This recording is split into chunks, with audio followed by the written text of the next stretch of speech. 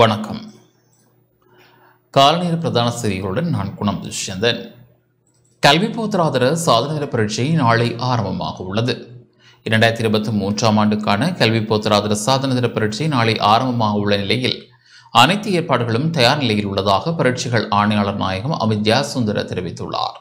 இம்முறை மூன்று லட்சத்து எண்பத்தேழாயிரத்து அறுநூற்று நாற்பத்தி எட்டு பாடசாலை விண்ணப்பதாரர்களும் அறுபத்தையாயிரத்து முன்னூற்று முப்பத்தொரு தனியார் விண்ணப்பதாரர்களுமாக மொத்தமாக நான்கு லட்சத்து ஐம்பத்தி ரெண்டாயிரத்து தொள்ளாயிரத்து எழுபத்தி ஒன்பது பரீட்சார்த்திகள் பரீட்சைக்கு தோற்ற உள்ளனர் நடலாவிய ரீதியில் மூவாயிரத்து ஐநூற்றி இருபத்தேழு பரீட்சை நிலையங்கள் நிறுவப்பட்டிருக்கின்றன. இதேவேளை விசேட தேவையுடைய பரீட்சார்த்திகளுக்காக விசேட பரீட்சை நிலையங்களும் அமைக்கப்பட்டுள்ளதாக பரீட்சைகள் ஆணையாளர் தெரிவித்துள்ளார். தமிழ் பொது வேட்பாளர் எண்ணக்கரவுக்கு செயல் வடிவம் கொடுப்பது தொடர்பான கலந்துரையாடல் நேற்று யாழ்ப்பாணத்தில் இடம்பெற்றது. வடக்கு கிழக்கு மாகாண சிவில் சமூக குழுவின் ஏற்பாட்டில் தமிழ் பொது வேட்பாளர் எண்ணக்கருவுக்கு செயல் வடிவம் கொடுப்பது தொடர்பான கலந்துரையாடல் நேற்று மாலை யாழ்ப்பாணத்தில் இடம்பெற்றது. குறித்த கலந்துரையாடலில் தமிழ் பொது வேட்பாளர் தொடர்பான பல விடயங்கள் ஆராயப்பட்டன. இதன்போது சிவில் சமூக கட்டமைப்புகளும் தமிழ் கட்சிகளும் இணைந்து ஒரு பொது கூட்டமைப்பை உருவாக்குவது தொடர்பான கலந்துரையாடல் இரண்டு வாரங்களில் நடாத்துவதாக தெரிவிக்கப்பட்டது. நாடாளுமன்ற உறுப்பினர்களான செல்வம் அடைக்கலநாதன் சி வி விக்னேஸ்வரன் கோவிந்தன் கருணாகரம் முன்னாள் நாடாளுமன்ற உறுப்பினர்களான மாவி சேனாதராஜா என் எஸ் சரவணபவன் சுரேஷ் பிரமிச்சந்திரன் நாவினா ஸ்ரீகாந்தா மற்றும் சிவில் சமூக குழுவினர் உள்ளிட்ட பலர் கலந்துரையாடலில் பங்கேற்றனர். நாங்கள் பன்னெண்டு லட்சம் தமிழர்கள் இருக்கின்றோம். அதிலே ஆறு லட்சம் தமிழர்களாவது வாக்கு அளித்தால்தான் எங்களுடைய இந்த எண்ணம் குறிக்கோள் எதிர்பார்ப்பு இவற்றிற்கு ஒரு அர்த்தம் இருப்பதாக இருக்கும். எப்படியாவது ஒரு பொது வேட்பாளரை நிறுத்த வேண்டும் என்பதிலே எந்த விதமான சந்தேகமும் இல்லை. அதை எல்லோரும் ஏற்றுக்கொண்டிருக்கிறார்கள். மக்களிடையே இது சம்பந்தமான போதிய புரிந்துணர்வு இல்லாத உண்மை. ஆனால் ஒருவரை நாங்கள் தேர்ந்தெடுத்து அதன் பின்னர் சகல கட்சிகளும் மக்களோடு ச- சேர்ந்து அவர்களிடம் சென்று ஒரு பொது தேர்தலிலே நாங்கள் என்னமாறு எங்களுடைய ஒரு வேட்பாளருக்காக வேலை செய்கின்றோமோ அந்த அளவுக்கு ஈடுபாட்டுடன் வேலை செய்ய வேண்டும் என்ற அந்த கருத்தும் இப்பொழுது தரப்பட்டிருக்கின்றது. ஆகவே பொது வேட்பாளர் யார் என்று அவர்கள் தீர்மானித்ததன் பின்னர் அவரை மையமாக வைத்து மக்களிடையே சென்று ஒவ்வொரு கட்சியும் இது சம்ப- சம்பந்தப்பட்ட சிவில் அரசியல் கட்சிகள் யாவும் மக்களினுடைய கவனத்தை ஈர்த்து அதனால் என்ன நன்மைகள் தமிழ் மக்களுக்கு கிடைக்கக்கூடும் என்பதை எடுத்து கூற வேண்டிய அவசியம் எங்களுக்கு இருக்கின்றது என்பதை அவர்கள் தெரிந்து வைத்திருக்கின்றார்கள். பொது வேட்பாளரை நிறுத்துவது சம்பந்தமாக அடுத்த கட்ட கூட்டத்திலே இறுதி முடிவு எந்தெந்த ரீதியிலே எப்படியான கொள்கையோடு நாங்கள் போட்டி இடுவதற்கான வாய்ப்புகளை உருவாக்க வேண்டும் என்ற ரீதியிலே இறுதி முடிவை இரண்டு வாரங்களுக்கு பின்பு எடுப்பதாக முடிவெடுத்திருக்கிறோம். கிழக்கிலிருந்து தான் ஒரு பொது வேட்பாளர் வர வேண்டும் என்பதற்கு இல்லை. சிவில் சமூகமும் தமிழ் மக்களும் தமிழ் தேசிய பரப்பில் இருக்கும் கட்சிகளும் ஒருமித்த குரலுடன் ஒரு கொள்கையுடன் ஒன்றுபட்டால் அந்த வேட்பாளர் எப்படி இருந்தாலும். கொள்கை ரீதியாக அனைத்து தமிழ் மக்களும் ஒன்றுபடும் போது அந்த வேட்பாளர் வடக்கில் இருந்தாலும் சரி கிழக்கில் இருந்தாலும் சரி கொள்கை ரீதியாக ஒன்றுபடும் போது ஒரு தடியை வைத்தால் கூட நாங்கள் எங்களது கொள்கையை வெல்லலாம் என்பதுதான் என்னுடைய கருத்து. ஐம்பது வீதத்துக்கு கூடுதலாக நாங்கள் எங்களுடைய வடக்கு கிழக்கு மக்களை கொண்டு வாக்குகளை எடுப்போமாக இருந்தால் நிச்சயமாக அது ஒரு வெற்றி. நிச்சயமாக இந்த பொது வேட்பாளர் நிலைக்கு நாங்கள் ஆதரவு அளிக்க வேண்டும். இந்த ஜனாதிபதி தேர்தலில் ஒரு தமிழ் பொது வேட்பாளரை நிறுத்துவது என்ற நிலைப்பாட்டை ஒரு கூட்டு தீர்மானமாக உடன்பாட்டுக்கு அந்த கட்சிகள் வந்திருக்கின்றன. தமிழரசு கட்சியும் தன்னுடைய இணக்கப்பாட்டை தெரிவித்த பின்னர் பொதுக்கட்டமைப்பை ஓ, நோக்கி இந்த முயற்சி முன்னெடுக்கப்படும். இன்னும் ஒரு இருவார காலங்களில் மீண்டும் சிவில் சமூகங்களும் அரசியல் கட்சி தலைவர்களும் ஒன்று சேர்ந்து ஒரு பொது கட்டமைப்பை அமைக்க இருக்கின்றோம்.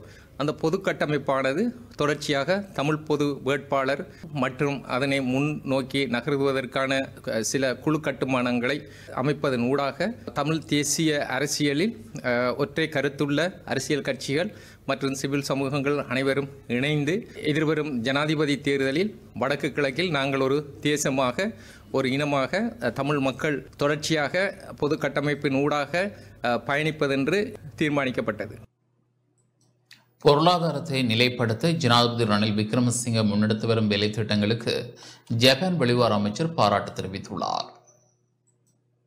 இலங்கையை பொருளாதார நெருக்கடியிலிருந்து மீட்டெடுத்து பொருளாதாரத்தை நிலைப்படுத்த ஜனாதிபதி ரணில் விக்ரமசிங்க முன்னெடுத்து வரும் வேலை திட்டம் மற்றும் அதற்காக மேற்கொள்ளப்படும் பொருளாதார மறுசீரமைப்புகளுக்கு ஜப்பான் வெளிவிவகார அமைச்சர் ஜோஹோ காபியா பாராட்டு தெரிவித்துள்ளார்.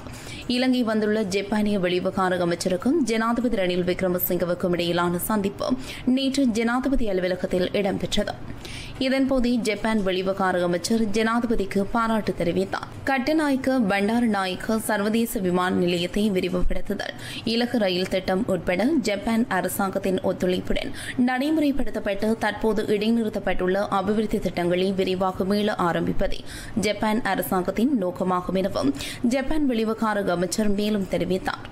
இலங்கையில் கடன் மறுசீரமைப்பு தொடர்பான புரிந்துணர்வு ஒப்பந்தத்தை விரைவில் கைச்சாத்திடுவது குறித்தும் இங்கு கலந்துரையாடப்பட்டது.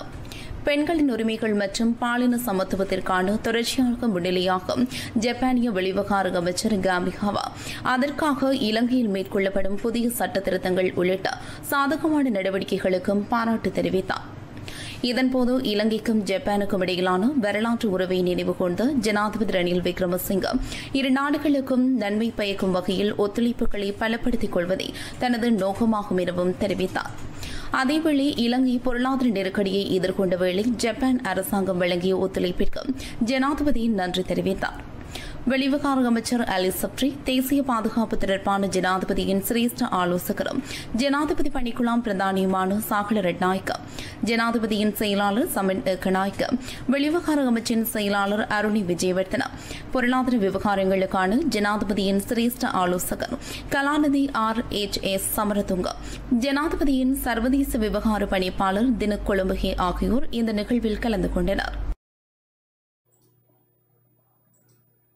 கடன் வழங்குனர் இணக்கப்பாட்டில் வெளிப்படைத்தன்மை அவசியம் என ஜப்பானிய வெளிவார அமைச்சர் தெரிவித்துள்ளார். நண்பர் என்ற ரீதியில் இலங்கைக்கு அவசியமான ஒத்துழைப்புகளை ஜப்பான் தொடர்ந்து வழங்கும் என்ற செய்தியை கூறுவதற்காகவே தான் இலங்கைக்கு வருகை தந்திருப்பதாக தெரிவித்துள்ள ஜப்பானிய வெளிவார அமைச்சர் ஜோஹோ கமிகவா இலங்கைக்கு உத்தியோகபூர்வ கடன் வழங்குனர் குழுவினருக்கும் இடையில் வெகு விரைவில் இருதரப்பு புரிந்துணர்வு ஒப்பந்தம் கைச்சாத்திடப்படும் என எதிர்பார்ப்பதாகவும் இருப்பினும் அந்த இணக்கப்பாடு வெளிப்படைத்தன்மை வாய்ந்த முறையில் அடைந்து கொள்ளப்பட வேண்டும் எனவும் வலியுறுத்தியுள்ளார். ஜப்பான் வெளிவார அமைச்சர் ஜோஹோ கமிகவா மற்றும் இலங்கை வெளிவார அமைச்சர் அல் ஷப்ரி ஆகியோரின் கூட்டு ஊடக சந்திப்பு நேற்று கொழும்பில் உள்ள வெளிவார அமைச்சில் நடைபெற்றது. அங்கு கருத்து வெளியிட்ட அமைச்சர் ஜோகோ கமிகவா இவ்வாறு தெரிவித்தார். இரண்டாம் உலகப் போரின் பின்னர் ஜப்பானுக்கு இலங்கை வழங்கிய ஊக்கமும் சமாதானத்தை கட்டியெழுப்பல் புனர்வாழ்வளித்தல் மற்றும் மீள கட்டியெழுப்பல் ஆகியவற்றை இலக்காக கொண்ட இலங்கையின் முயற்சிகளுக்கு ஜசூசி அகாசி தலைமையில் ஜப்பானால் வழங்கப்பட்ட ஆதரவும் இருநாட்டு மக்களதும் நினைவலைகளில் இருக்கும் என நம்புகிறேன். கடந்த ஜனவரி மாதம் ஜப்பானின் நோட்டோ பகுதியில் நிலநடுக்கம் ஏற்பட்ட வேளையில் இலங்கை எமக்கு பல்வேறு வழிகளிலும் உதவிகளை வழங்கியது. அதேவேளை இரு வருடங்களுக்கு முன்னர் இலங்கை மிக மோசமான பொருளாதார நெருக்கடிக்கு முகம் கொடுத்திருந்த வேளையில் இலங்கை மக்களின் தேவைகளை பூர்த்தி செய்யக்கூடிய வகையில் ஜப்பான் பல்வேறு உதவி திட்டங்களை வழங்கியது. அது மாத்திரமன்றி உத்தியோகபூர்வ கடன் வழங்குனர் குழுவுக்கு இணைத்தலைமை வகிக்கும் ஜப்பான் இலங்கையின் கடன் மறுசீரமைப்பு தொடர்பில் முன்னெடுக்கப்படும் சர்வதேச மட்டத்திலான பேச்சுவார்த்தைகளுக்கும் தலைமை தாங்குகிறது. இந்து சமுத்திர பிராந்தியத்தின் கேந்திர நிலைய முக்கியத்துவம் வாய்ந்த பகுதியில் அமைந்திருக்கும் இலங்கையின் ஸ்திரத்தன்மை மற்றும் பொருளாதார அபிவிருத்தி என்பன மீள் உறுதிப்படுத்தப்படுவது ஒட்டுமொத்த இந்து பசிபிக் பிராந்தியத்தினதும் உறுதிப்பாடு மற்றும் சுவிச்சம் என்பவற்றுக்கு இன்றி அமையாததாகும். நண்பன் என்ற ரீதியில் ஜப்பான் இலங்கைக்கு தொடர்ந்து ஆதரவு வழங்கும் என்ற செய்தியை கூறுவதற்காகவே நான் இங்கு வந்திருக்கிறேன். அதற்கமைய வெளிவார அமைச்சர் அலி ஷப்ரியுடனான சந்திப்பின் போது இரு நாடுகளுக்கும் இடையிலான நல்லுறவை சேத்திரன் மிக்க வகையில் மேலும் பலப்படுத்துவதற்கான வழிமுறைகள் குறித்து ஆராய்ந்தோம். இலங்கைக்கு உத்தியோகபூர்வ கடன் வழங்குனர் குழுவினருக்கும் இடையில் வெகு விரைவில் இருதரப்பு புரிந்துணர்வு ஒப்பந்தம் கைச்சாத்திடப்படும் என நாம் எதிர்பார்க்கின்றோம். இருப்பினும் அனைத்து கடன் வழங்குனர்களுடனான கடன் மறுசீரமைப்பு இணக்கப்பாடானது வெளிப்படைத்தன்மை வாய்ந்த முறையில் அடையப்பட வேண்டும். மேலும் தேசிய நல்லிணக்கத்தை கட்டியெழுப்புவதை முன்னிறுத்தி இலங்கை அரசாங்கத்தினால் தற்போது முன்னெடுக்கப்பட்டு வரும் முயற்சிகளுக்கு ஜப்பான் ஆதரவளிக்கும். இலங்கையினால் தற்போது முன்னெடுக்கப்பட்டு வரும் பலதரப்பட்ட மறுசீரமைப்புகள் நாட்டின் பொருளாதாரத்தை மீண்டும் வளம் நிலைமைக்கு கொண்டு வருவதற்கு இன்றியமையாதவை ஆகும் Both island nations surrounded by the sea. Japan intends to further strengthen cooperation with Sri Lanka in the maritime domain in order to realize a free and open Indo-Pacific. இலகு ரயில் போக்குவரத்து திட்டத்தை மீண்டும் ஆரம்பிக்க திட்டமிட்டுள்ளதாக வெளிவார அமைச்சர் தெரிவித்துள்ளார். கொழும்பில் இடைநிறுத்தப்பட்டுள்ள இலகு ரயில் போக்குவரத்து திட்டத்தை மீண்டும் ஆரம்பிக்க திட்டமிட்டுள்ளதாக வெளிவார அமைச்சர் அலி ஷப்ரி தெரிவித்துள்ளார். ஜப்பானிய வெளியுறவு அமைச்சருடன் இடம்பெற்ற கூட்டு ஊடக சந்திப்பில் அவர் இதனை தெரிவித்தார். இரண்டாயிரத்தி இருபத்தி மூன்று ஜூலையில் இலங்கையின் அமைச்சரவை இலகு ரயில் போக்குவரத்து திட்டம் தொடர்பில் கொழும்பில் உள்ள ஜப்பானிய தூதரத்துடன் ஒப்பந்தம் செய்து கொள்வதற்கான கால வரையறையை முடிவு செய்ய தீர்மானித்திருந்தது. அத்துடன் அது தொடர்பான நிபுணர் குழுவின் அறிக்கையும் கூறப்பட்டுள்ளது இரண்டாயிரத்தி பத்தொன்பதாம் ஆண்டில் கொழும்பு நகரம் மற்றும் புறநகர் பகுதிகளில் ஏற்படும் போக்குவரத்து நெரிசலுக்கு தீர்வாக இலகு தொடர்ந்து போக்குவரத்து அமைப்பு திட்டத்துக்கு ஆயிரத்து எண்ணூறு மில்லியன் அமெரிக்க டாலர் கடனுதவி வழங்க ஜப்பான் அரசாங்கம் ஒப்புக்கொண்டது. மாலவேயிலிருந்து கொழும்பு கோட்டை வரையிலான முக்கியமான மற்றும் முக்கிய சந்திப்புகளை உள்ளடக்கும் வகையில் பதினாறு நிலையங்கள் உட்பட பதினேழு கிலோமீட்டர் நீளமுள்ள உயர்தர ரயில் பாதை அமைக்க திட்டமிடப்பட்டது. எனினும் கோட்டபாய ராஜபக்ச ஆட்சிக்கு தேர்ந்தெடுக்கப்பட்டதும் ஜப்பானின் நிதி உதவியுடன் கூடிய இலகு தொடர்ந்து போக்குவரத்து திட்டத்தை உடனடியாக நிறுத்துமாறு உத்தரவிட்டார். இலங்கையின் கணக்காய்வாளர் நாயகத்தின் விசிற கணக்காய்வு அறிக்கையின் மூலம் இந்த தீர்மானத்தினால் மட்டும் நாட்டுக்கு ஐந்து தசம் ஒன்பது ஏழு எட்டு பில்லியன் ரூபாய் செலவாவதாக தெரிவிக்கப்பட்டதை அடுத்து இந்த திட்டம் கைவிடப்பட்டது. இரண்டாயிரத்தி இருபது செப்டம்பர் இருபத்தொராம் தேதி கோட்டாபாயவுக்கு அப்போதைய செயலாளரால் வழங்கப்பட்ட கடிதத்தை தொடர்ந்து இந்த திட்டம் பொருத்தமான செலவு குறைந்த போக்குவரத்து தீர்வாக இல்லை என குறிப்பிட்டு திட்டம் இடைநிறுத்தப்பட்டது. ஜெய்கா என்ற ஜப்பான் சர்வதேச ஒத்துழைப்பு நிறுவனம் இந்த திட்டத்துக்காக பன்னிரண்டு வருட சலுகை காலம் உட்பட நாற்பது வருட காலப்பகுதியில் கடனை செலுத்தும் வசதியை வழங்கியிருந்ததுடன் அதற்கான வருடாந்த வட்டி வீதம் பூஜ்ஜியம் தசம் ஒன்று சதவீதமாகவும் நிர்ணயித்தமை குறிப்பிடத்தக்கது. Debt restructuring process in time for the next tranche of IMF process. I also explained about the measures in place to mitigate the economic impact of the reforms on the poor. சிறு குற்றங்களில் ஈடுபடுவோருக்கு வீட்டுக்காவல் வேலை திட்டத்தை முன்னெடுக்க திட்டமிட்டுள்ளதாக அமைச்சர் விஜயதாச ராஜபக்ஷ தெரிவித்துள்ளார் சிறு குற்றங்களில் ஈடுபடும் நபர்களை வீட்டுக்காவலில் வைக்கும் வேலை திட்டத்தை நடைமுறைப்படுத்துவது குறித்து கவனம் செலுத்தப்பட்டுள்ளதாக நீதியமைச்சர் விஜயதாஸ் ராஜபக்ச தெரிவித்துள்ளார். இது தொடர்பான சட்டமூலம் எதிர்காலத்தில் நாடாளுமன்றத்தில் சமர்ப்பிக்கப்படும் என அமைச்சர் குறிப்பிட்டார். சிறு குற்றங்களுக்காக நீண்ட காலம் சிறையில் இருப்பவர்கள் மன ரீதியாக பாதிக்கப்படுவதுடன் அவர்கள் சமூகத்தில் பெரும் குற்றவாளிகளாகவே சித்தரிக்கப்படுகின்றனர். அவ்வாறான நிலைமையை மாற்றி சிறு குற்றங்களுக்காக கைது செய்யப்படுபவர்களை சிறையில் அடைக்காமல் வீட்டுக்காவலில் வைக்க யோசனை முன்வைக்கப்பட்டுள்ளதாக அவர் குறிப்பிட்டார். சம்பந்தப்பட்டவர்களை அவர்களின் உறவினர்களிடம் ஒப்படைத்து ஆவணம் ஒன்றை தயாரித்து அதன் அடிப்படையில் இந்த திட்டத்தை நடைமுறைப்படுத்த உள்ளதாகவும் நீதியமைச்சர் விஜயதாஸ் ராஜபக்ச குறிப்பிட்டார். தலைமன்னாரிலிருந்து தனுஷ்கோடி வரை பாக்ஜல சந்தி கடலை நீந்தி கடந்து பனிரெண்டு நீச்சல் வீர வீராங்கனைகள் சாதனை படைத்துள்ளனர். இலங்கை தலைமன்னாரிலிருந்து தனுஷ்கோடி வரை பாக்ஜல சந்தி கடலை பத்து மணி நேரம் பத்து நிமிடங்களில் பனிரெண்டு நீச்சல் வீரர்கள் வீராங்கனைகள் தொடர் ஓட்ட முறையில் நீந்தி கடந்து சாதனை படைத்தனர். மகாராஷ்டிரா மாநிலம் தானே பகுதியில் செயல்பட்டு வரும் ராம்சேது திறந்த நீர் நீச்சல் அறக்கட்டளையைச் சேர்ந்த பனிரெண்டு நீச்சல் வீராங்கனைகள் இரண்டு குழுக்களாக பிரிந்து இலங்கை தலைமன்னாரிலிருந்து தனுஷ்கோடி வரையுள்ள சுமார் முப்பது கிலோமீட்டர் தொலைவிலான பாக் ஜல சந்தி கடற்பரப்பினை நீந்தி கடப்பதற்காக இந்திய வெளியுறவுத்துறை இலங்கை தூதரகம் மற்றும் பாதுகாப்புத்துறை அமைச்சரிடம் அனுமதி கோரியிருந்தனர்.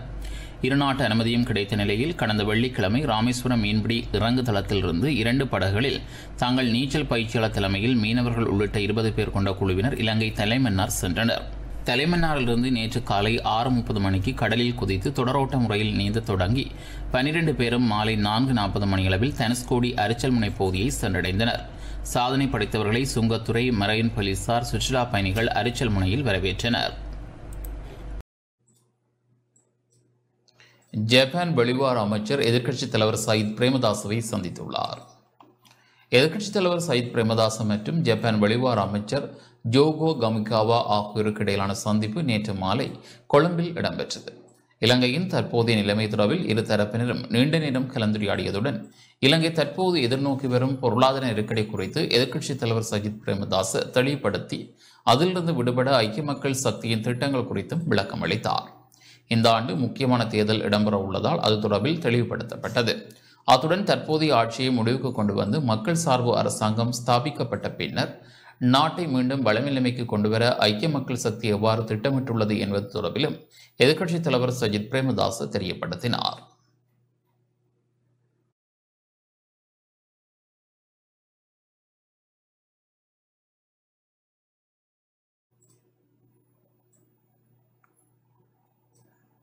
தமிழ் மக்களின் பிரச்சினைகளுக்கு தீர்வு கிடைக்க வேண்டும் என்பதற்கான கொள்கைகளை வெளிப்படுத்தவே பொது வேட்பாளர் நிறுத்தப்படுவார் என நாடாளுமன்ற உறுப்பினர் சிவஞானம் ஸ்ரீதரன் தெரிவித்துள்ளார். எதிர்வரும் ஜனாதிபதி தேர்தலில் தமிழ் பொது வேட்பாளரை களம் இறக்குவது வடக்கு கிழக்கு தமிழ் மக்களின் பிரச்சினைகளை கொள்கை ரீதியாக வெளிக்கொணரவே என நாடாளுமன்ற உறுப்பினர் சிவஞானம் ஸ்ரீதரன் தெரிவித்துள்ளார். நேற்று கிளர்ச்சி நாச்சிக்குடா முஸ்லிம் மக்கள் எதிர்கொள்ளும் பிரச்சினை தொடர்பாக ஆராயும் கலந்துரையாடல். நாச்சிக்குடா முன்பள்ளியில் இடம்பெற்றதைத் தொடர்ந்து ஊடகங்களுக்கு கருத்து வெளியிடும் போதே இவ்வாறு குறிப்பிட்டார். பொது வேட்பாளர் என்பது வேட்பாளருடைய முகம் அல்ல அங்கு வேட்பாளராக நிறுத்தப்படுவது தமிழர்களுடைய தேசிய கொள்கைகள். அவர்கள் வடக்கு கிழக்கு என்பது அவருடைய மரபு வழி தாயகம். வடக்கு கிழக்கிலே வாழுகின்ற மக்கள் ஒரு இன அழிப்புக்கு உட்படுத்தப்பட்டார்கள். அந்த இன அழிப்புக்கான ஒரு சர்வதேச விசாரணை மலிந்து காணாமல் ஆக்கப்பட்ட மக்களுக்கான சர்வதேச விசாரணையை மேற்கொள்ளுதல் இங்கே வாழுகின்ற மக்களுடைய நிலங்கள் தொடர்ந்தும் பறிக்கப்படுகின்றமை அவர்களுக்கான சுதந்திரமான வாழ்வு தொடர்பிலே ஒரு நிலையான கொள்கைகளை முன்னிலைப்படுத்தி கொள்கைதான் வேட்பாளராக நிற்கும் என்ற விடயத்தை நான் அவரோடு பகிர்ந்து கொண்டேன். அவர்களும் அந்த விடயங்களை கிரகித்துக் கொண்டார்கள். ஆனால் ஒரு பொது வேட்பாளர் தொடர்பிலே அந்த முடிவுகளை எடுக்கின்ற உரித்தும் அது தொடர்பான சிந்தனையும் அது அவர்களுக்குரியது என்பதை மட்டும் நாங்கள் தெளிவுபடுத்திக் கொண்டோம். எதிர்வரும் ஜனாதிபதி தேர்தலை தமிழ் மக்கள் வலிமையான ஆயுதமாக பயன்படுத்த வேண்டும் என நாடாளுமன்ற உறுப்பினர் செல்வராசா கஜேந்திரன் தெரிவித்துள்ளார். நாட்டின் இறமை பறிபோவதாக குறிப்பிடும் தரப்பினர் இன்று இலங்கை முழுவதையும் வெளிநாடுகளுக்கு விற்பனை செய்கின்றனர் எனவும் எதிர்வரும் தேர்தலை தமிழ் மக்கள் வலிமையான ஆயுதமாக பயன்படுத்த வேண்டும் எனவும் தமிழ் தேசிய மக்கள் முன்னணியின் பொதுச் செயலாளரும் நாடாளுமன்ற உறுப்பினருமான செல்வராசா கஜேந்திரன் தெரிவித்துள்ளார். நேற்று யாழ்ப்பாணத்தில் உடல் சந்திப்பை நடாத்திய வேளை இவ்வாறு குறிப்பிட்டார். இப்பொழுது கொழும்பிலே நடைபெறுகின்ற சம்பவங்களை நோக்குகின்ற பொழுது நாளும் பொழுதும் இந்த நாடு ஒட்டுமொத்தமாக வெளிநாடுகளுக்கு விற்கப்பட்டு முழுமையாக மக்களும் அடிமைகளாக விற்கப்பட்டு விடுவார்களா என்று அஞ்சுகின்ற அளவுக்கு நிலைமைகள் சென்று கொண்டிருக்கின்றது. இந்த நாட்டினுடைய உயிர் நாடியாக இருக்கக்கூடிய தேசிய அடையாள அட்டைகளுக்கான டேட்டா என்டரிங் ப்ரொஜெக்ட் அந்த வேலை திட்டத்தை கூட வந்து இன்று இந்தியாவுக்கு வழங்குகிற ஒரு முடிவு எடுக்கப்பட்டிருப்பது என்பது இந்த நாடு தன்னுடைய சுயத்தை நூற்றுக்கு நூறு வீதம் இழந்து விட்டது என்கின்ற ஒரு நிலையைத்தான் இது வெளிப்படுத்துகின்றது. இது ஒரு மிகவும் ஒரு ஆபத்தான ஒரு விடயமாகவே என்னை பொறுத்தவரையிலே நான் கருதுகின்றேன். இந்தியாவினுடைய ஒரு கொத்தடிமைகளாக இலங்கை மக்கள் மாற்றப்படுகிறார்களா என்கின்ற ஒரு பாரிய கேள்வி ஒன்று இருக்கின்றது வந்து. தமிழர்களுக்கு ஒரு சுயாட்சி ஒரு நாடாக இருந்து நீங்களும் நாங்களும் ஒரு சமனான தேசமாக இந்த நாட்டுக்குள்ளே ஒரு சமஷ்டி ஆட்சி ஆட்சியை ஏற்படுத்திக் கொள்வதற்கு விரும்பாமல் இறமை பறிபோகிறது இறமை பறிபோகிறது என்று சொல்லிக்கொண்டு இன்று உங்களுடைய முழுவதையுமே வந்து சீனாவுக்கும் ஏனைய நாடுகளுக்கு நீங்கள் விற்றுக் கொடுக்க போகிறீர்கள் என்று சொல்லி சொன்னால் இந்த ஆட்சி இது உங்களுடைய ஆட்சி தானா? அல்லது நீங்கள் ஒட்டுமொ நீங்கள் உங்களுடைய பதவி சுகங்களை அனுபவிப்பதற்காக நீங்கள் கோடானு கோடி சொத்துக்களை கொள்ளையடித்து அந்த கொள்ளையை கொள்ளையடித்த சொத்துக்களை நீங்கள் பேணி பாதுகாக்க வேண்டும் என்பதற்காக இந்த நாடுகள் எடுக்கின்ற எல்லா முடிவுகளுக்கும் பின்னால் நீங்கள் ஈடுபட்டுக் கொண்டு செல்கிறீர்களா? என்கின்ற ஒரு கேள்வி இருக்கிறது. இந்த நாடு இறுதியிலே வந்து உங்களுக்கும் சொந்தமில்லை எங்களுக்கும் சொந்தமில்லை என்கின்ற ஒரு நிலைமையை நோக்கித்தான் சென்று கொண்டிருக்கின்றது வந்து. ஆகவே தயவு செய்து வந்து இந்த தருணத்திலாவது சிந்தியுங்கள். தமிழர்களோடு அதிகாரங்களை பகிர்ந்து கொள்வதற்கு சிங்கள மக்களும் சிந்திக்க வேண்டும். தமிழ் மக்கள் சிந்திக்க வேண்டும் முஸ்லீம் மக்கள் சிந்திக்க வேண்டும். நாம் எல்லோரும் ஒன்றுபட்டு நின்று இந்த ஒட்டியாட்சி முறைமையை நீக்கி ஒரு சமஸ்தி அரசியலமைப்பை கொண்டு வந்து நாங்கள் எங்களுக்குள் ஒரு ஐக்கியத்தை கட்டி எழுப்பி இந்த நாட்டை கட்டியெழுப்புவதற்கான வழியை உருவாக்க வேண்டும். அதே நேரத்தில் இந்தியாவினுடைய நட்பு சக்தியாக இருந்து இந்த பிராந்தியத்தில் பதற்றத்தை இல்லாமல் செய்து நாங்கள் முன்னோக்கி செல்வதற்கான ஒரு வழியை கண்டுபிடிக்க வேண்டும் இல்லைன்னு சொன்னால் எதுவுமே மிஞ்சப் போவதில்லை என்பதை நான் பொறுப்புணர்வோடு கூறிக்கொள்ள விரும்புகிறேன். தமிழ் மக்களுடைய உரிமைகளுக்காக நேர்மையாக செயல்பட்ட தமிழீழ விடுதலை புலிகள் இயக்கம் ரெண்டாயிரத்தி ஒன்பது மே பதினெட்டிலே மௌனிக்க செய்யப்பட்ட பிற்பாடு அந்த தமிழ் மக்களுடைய தலைமை சக்தி என்ற இடத்தை பெற்றுக்கொண்ட தமிழ் தேசிய கூட்டமைப்பினர் இந்தியாவினுடைய முகவர்களாக இருந்து கொண்டு இலங்கை அரசாங்கத்திடம் சலுகைகளை பெற்றுக்கொண்டு இந்த உள்ளக விசாரணை பொறிமுறைக்கு ஆதரவு வழங்கி வந்த காரணத்தினால் இந்த ப- மக்கள் பதினைந்து ஆண்டுகளாக நீதி இல்லாமல் இருக்கிறார்கள். ஒரு ஜனாதிபதி தேர்தல் நெருங்குகிறது. வருகிறது. இந்த தேர்தலை தமிழர்கள் ஒரு மிக பெரும் வலிமை மிக்க ஆயுதமாக கையில் எடுக்க வேண்டும். இந்த தேர்தலை தமிழர்கள் புறக்கணிக்க வேண்டும். இந்த தேர்தலை புறக்கணிப்பதன் மூலமாக தமிழர்கள் ஜனாதிபதி தேர்தலில் வெற்றி பெற விரும்புகிற ஒரு பெரும்பான்மையின கட்சியோ வேட்பாளரோ தமிழர்களுடைய எதிர்பார்ப்பை நிறைவு செய்ய வேண்டும் என்கின்ற முடிவை எதிர்காலத்திலேயும் எடுப்பதற்கான நிர்பந்தத்தை நாங்கள் உருவாக்க வேண்டும். அதே நேரத்திலே இலங்கையிலே சீனாவினுடைய ஆதிக்கத்தை கட்டுப்படுத்தி இந்திய அமெரிக்க ஐரோப்பிய நாடுகளுடைய நலன்களை பேண விரும்புகிற அந்த தரப்புகள் தாங்கள் விரும்புகிற ஒருவரை ஜனாதிபதியாக்குவதற்கு தமிழ் மக்களுடைய வாக்குகளை குறித்த நபருக்கு வழங்கி அவரை வெற்றி பெற வைக்க வேண்டுமாக இருந்தால் இலங்கை மீது அழுத்தங்களை கொடுத்து ஒட்டியாட்சி முறையை நீக்கி ஒரு சமஸ்தி அரசியலமைப்பை கொண்டு வருவதான ஒரு உறுதிப்பாட்டை வெளிப்படுத்த வேண்டும் என்கின்ற ஒரு நிர்பந்தத்தை இந்த நாடுகள் மீது நாங்கள் ஏற்படுத்த வேண்டும். இவை எல்லாவற்றுக்குமான உறுதி எடுத்துக்கின்ற ஒரு நிகழ்வாக இந்த முள்ளிவாய்க்கால் நினைவேந்தல் நாளை நாங்கள் பயன்படுத்திக் கொள்ள வேண்டும் என்று இந்த இடத்திலே நான் ஒட்டுமொத்த தமிழ் தேச மக்களுக்கும் ஒரு அறைகூவல் அஹ், விடுக்கின்றேன். யாழ்ப்பாண பிராந்திய சுவார சபைகள் பணிப்பாளர் ஆறுமுகம் கேதீஸ்வரனின் மணிவிழா நேற்று இடம்பெற்றது. யாழ்ப்பாண பிராந்திய சுகார சபைகள் பணிப்பாளர் ஆறுமுகம் கேதீஸ்வரனின் மணிவிழா நேற்று நெல்லியடி நெல்லை முருகன் ஆலய மண்டபத்தில் இடம்பெற்றது. ஹார்லி கல்லூரியின் ஓய்வு பெற்ற அதிபரும் வடக்கு மாகாண போலீஸ் ஆணைக்குழு பணிப்பாளருமான என் தெய்வேந்திர ராஜா தலைமையில் மணிவிழா நாயகன் மங்கள இசை முழங்க அழைத்து செல்லப்பட்டு நிகழ்வு ஆரம்பமானது. வரவேற்புரையை ஆய்வுக்கூட தொழில்நுட்ப உத்தியோகஸ்தர் சுன் அகிலன் நிகழ்த்தியதைத் தொடர்ந்து ஆசிரியர்களை நெல்லியடி தனங்கன் புலியடி முருகன்மூர்த்தி ஆலய பிரதம குரு ரங்கசாமி குருக்கள் மற்றும் பருத்துத்துறை தோமையார் ஆலய பங்கு தந்தை பெனட் அடிகளார் ஆகியோர் நிகழ்த்தினர். வாழ்த்துறைகளை சாதனை தமிழன் ஆறு திருமுருகன் வடக்கு மாநில பிரதம செயலாளர் எல். இளங்கோவன் யாழ்ப்பாணம் மாவட்ட பதில் அரசாங்க அதிபர் எம். பிரதீபன் வடக்கு மாநில சுகார அமைச்சின் செயலாளர் எம். ஜெஹு யாழ்ப்பாண பொதுனா வைத்தியசாலை பணிப்பாளர் சத்தியமூர்த்தி வடக்குமான சுவரசவை பிரதிப்பணிப்பாளர் கே. நந்தகுமார் ஆகியோர் நிகழ்த்தினர். தொடர்ந்து நூல் வெளியீட்டு உரைகளை ஓய்வு பெற்ற அதிபர் நானா ராகவன் முகாமித்துவ வணிக பீட முன்னாள் பீடாதிபதி எம். நடராஜ் சுந்தரம் கோப்பாய் பிரதேச செயலாளர் எஸ். சிவஸ்ரீ ஓய்வு பெற்ற அதிபர் எஸ் சேதுராஜா முல்லைத்தீவு பிராந்திய சுகார சபைகள் பணிப்பாளர் எம். உமா சங்கர் விழாக்குழு சார்பாக நோர்வேயிலிருந்து வருகை தந்த எம். சிவபாலன் கரவட்டி வைத்தியசாலை வைத்திய அதிகாரி வே. கமல்நாதன் சாவச்சேரி ஆதார வைத்தியசாலை வைத்திய அத்தியட்சகர் எஸ். குமரவேல் சாவச்சேரி சுகார வைத்திய அதிகாரி எஸ். சுதோகுமார் கரவட்டி சுவார வைத்திய அதிகாரி முனா. செந்துரன் ஆகியோர் நிகழ்த்தினர். இந்நிகழ்வில் மருத்துவர்கள் தாதியர்கள் சுவார சபை உத்தியோகர்கள் நிர்வாக சபை அதிகாரிகள் மற்றும் மக்கள் என பலரும் கலந்து கொண்டனர்.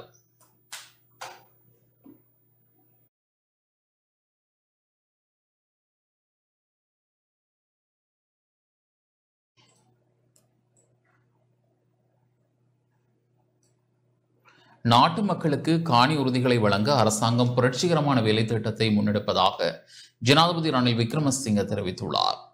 நாட்டு மக்களுக்கு காணி உறுதிகளை வழங்க அரசாங்கம் முன்னெடுத்திருக்கும் வேலை திட்டம் உலக நாடுகள் அவற்றிலும் முன்னெடுக்கப்படாத புரட்சிகரமான திட்டம் என ஜனாதிபதி ரணில் விக்ரமசிங்க தெரிவித்துள்ளார். நேற்று புலனறுவை மத்திய மகாவித்தியாலயத்தில் இடம்பெற்ற மகாவலி குடியிருப்பாளர்களுக்கு ஒருமைய திட்டத்தின் கீழ் காணி உறுதிகள் வழங்கும் நிகழ்வில் இவ்வாறு குறிப்பிட்டார். மக்களுக்கு காணி உறுதிகளை வழங்க அரசாங்கம் முன்னெடுத்திருக்கும் வேலை திட்டம் புரட்சிகரமானது. உலகின் வேறு எந்த ஒரு நாட்டிலும் இவ்வாறான வேறு வேலை திட்டங்கள் செயற்படுத்தப்படவில்லை. நாம் மிகப்பெரிய புரட்சியை செய்திருக்கிறோம். விவசாயத்திற்காக மாத்திரமின்றி வீட்டு உரிமைகளையும் வழங்கி இருக்கிறோம் மாடி குடியிருப்புகளில் வசிப்போருக்கும் வீட்டு உரிமைகள் வழங்கப்பட்டிருக்கின்றன. அதனாலேயே இந்த திட்டத்தை உலகின் புரட்சிகர திட்டம் என கூறுகிறோம். இத்திட்டம் நாட்டு மக்களுக்கான விடுதலையாகும். காணி உறுதியை துரிதமாக தயாரிப்பது குறித்து அமைச்சரவையிலும் ஆலோசித்தோம். பிரதமர் இந்த பணிகளை பொறுப்பேற்றுள்ளார். அது தொடர்பில் தேடியறிந்து பணிகளை முன்னெடுக்குமாறு மாவட்ட அபிவிருத்தி குழுக்களுக்கும் அறிவுறுத்தியுள்ளோம். இந்த திட்டம் இரண்டு மாதங்களுக்குள் நிறைவு செய்யப்பட உள்ளது. காணி ஆணையாளர் அலுவலகம் மகாவலி அமைச்சு நில அலுவை திணைக்களம் உள்நாட்டு அலுவல்கள் அமைச்சு மாவட்ட செயலாளர்கள் மற்றும் பிரதேச செயலாளர்கள் இணைந்து இந்த திட்டத்தை முன்னெடுத்து செல்ல வேண்டும். இந்த காணிகளை பெற்றுக்கொண்ட பின்னர் அரசாங்கத்தின் விவசாய நவீனமயப்படுத்தல் திட்டத்துடன் இணைந்து கொள்வது உங்கள் பொறுப்பாகும். நாட்டின் பொருளாதாரத்தை நவீனமயப்படுத்தி போட்டித்தன்மை நிறைந்த ஏற்றுமதி பொருளாதாரத்தை நோக்கி நாட்டை நகர்த்த வேண்டிய பொறுப்பு நம்மிடம் உள்ளது. விவசாய நவீனமயப்படுத்தல் செயற்பாடுகளை அரசாங்கம் முதன்மை திட்டமாக கருதி செயற்படுத்தும் நிலையில் அதற்குரிய ஒத்துழைப்புகளை வழங்குவது தொடர்பில் ஆராய ஜப்பான் வெளிவார் அமைச்சர் இன்று நாட்டுக்கு வருகை தந்துள்ளார் அந்த திட்டத்தின் முன்னேற்றம் குறித்து தேடியறிந்து அடுத்த மூன்று நான்கு மாதங்களுக்குள் திட்டத்தை செயற்படுத்துவதற்கான ஒத்துழைப்புகளை வழங்கும் நோக்கில் உலக வங்கியின் பிரதிகளும் எதிர்வரும் ஜூன் மாதம் இலங்கை வர உள்ளனர் அதற்கான திட்டங்களை சமர்ப்பிக்க வேண்டியிருப்பதால் இதனை சட்டபூர்வமாக மாற்றியமைப்பதற்கான நடவடிக்கைகளை எடுக்க உள்ளோம். அதன்படி நாட்டை முன்னேற்றிச் செல்ல நாம் முயற்சிக்க வேண்டும். இந்த வேலை திட்டத்துடன் அனைவரும் ஒன்றுபட வேண்டும். பொன்னர்வை மாவட்டத்தை நாட்டின் பிரதான ஏற்றுமதி மாவட்டமாக மாற்றியமைக்க முடியும். அதற்கான திட்டங்களை நாம் தற்போது செயற்படுத்தியுள்ளோம். எழுபத்தாறு வருடங்களாக என்ன செய்திருக்கிறீர்கள் என்று சிலர் கேட்கிறார்கள். நீர்ப்பாசன திட்டங்கள் மின் உற்பத்தி நிலையங்கள் என்பவற்றை ஏற்படுத்தி விவசாயிகளை உருவாக்கி நாட்டை அரசியல் திணறவை செய்திருக்கின்றோம். இருப்பினும் இந்த பகுதிகளை வந்து சேராமல் இருக்கும் அபிவிருத்திகளை ஏற்படுத்த நான் பொறுப்பேற்கிறேன். அரசாங்கத்தை பிளவுபடுத்த வேண்டும் என நான் ஒரு நாளும் சொல்லப் போவதில்லை. இன்று இருப்பது புதுமையான ஆட்சியாகும். வேண்டாம் என அனைவரும் வெறுத்தொதுக்கிய அரசாங்கத்தை நான் ஏற்றுக்கொண்டேன். எவரும் இதனை ஏற்க முன்வரவில்லை. நாட்டின் முன்னேற்றத்திற்கான வேலை திட்டத்துடன் நாங்கள் ஆரம்பித்தோம். தொடர்ந்தும் நாம் அனைவரும் ஒன்றிணைந்து நாட்டின் பொருளாதாரத்தை பலப்படுத்தி எதிர்கால இளைஞர் சமூகத்திற்கான சிறந்த எதிர்காலத்தை கட்டமைக்க வேண்டும் என குறிப்பிட்டுள்ளார். உரிமைய திட்டத்தின் கீழ் மகாவலி குடியிருப்பாளர்களுக்கு காணி உறுதிகள் வழங்கும் நிகழ்வு பலனர்வை மத்திய மகாவித்தியாலயத்தில் நடைபெற்றது. மகாவலி அதிகார சபையினால் இரண்டு லட்சத்து நான்காயிரத்து இரண்டு நிரந்தர காணி உறுதிகளை தயாரிக்கும் பணிகள் முன்னெடுக்கப்பட்டு வருகின்றன. அதற்கமைய அனைத்து வலயங்களிலும் நிரந்தர காணி உறுதிகளை தயாரிக்கும் பணிகள் ஆரம்பிக்கப்பட்டுள்ளதுடன் மே மாத இறுதியில் இருபதாயிரத்து நூற்று எழுபத்தெட்டு மகாவலி குடியிருப்பாளர்களுக்கு நிரந்தர காணி உறுதிகள் வழங்கப்பட உள்ளன. அதன் அடிப்படையில் அடையாள ரீதியாக ஆயிரத்து முன்னூற்றி நாற்பது காணி உறுதிகள் பொலனறுவை மாவட்டத்தின் பிசி வலயங்கள் மெதிகிரிய முருகாகந்த உள்ளிட்ட மகாவலி வலய குடியிருப்பாளர்களுக்கு ப- பகிர்ந்தளிக்கப்பட உள்ளன. இதன்போது முப்பது பேருக்கான காணி உறுதிகள் ஜனாதிபதி ரணில் விக்ரமசிங்கவினால் வழங்கி வைக்கப்பட்டன. குறித்த நிகழ்வில் பிரதமர் தினேஷ் குணவர்த்தன வன ஜீவராசிகள் மற்றும் வனவள பாதுகாப்பு மற்றும் நீர்ப்பாசன அமைச்சர் பவித்ரா வன்னியாராய்ச்சி பெருந்தோட்ட தொழிற்சாலைகள் மற்றும் மகாவலி அபிவிருத்தி ராஜாங்க அமைச்சர் லோஹான் ரத்வத் நீர்ப்பாசன ராஜாங்க அமைச்சர் ஸ்ரீபால கம்லத் மற்றும் நாடாளுமன்ற உறுப்பினர் பி. ஹரிஷன் உள்ளிட்ட பலர் பங்கேற்றனர்.